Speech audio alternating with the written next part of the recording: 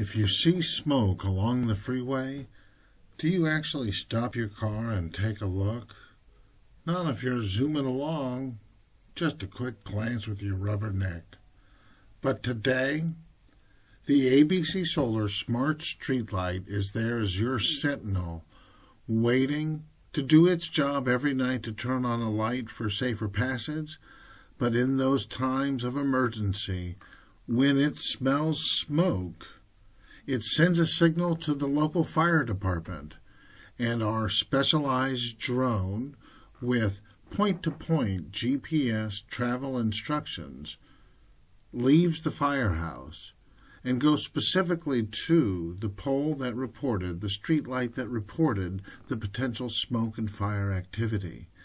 This immediately puts eyes on the location for the fire department to make a deployment decision on moving the fire truck and men and water and firefighting gear to the source as quickly as possible to save lives and save property. The quicker we put out the fire, the better.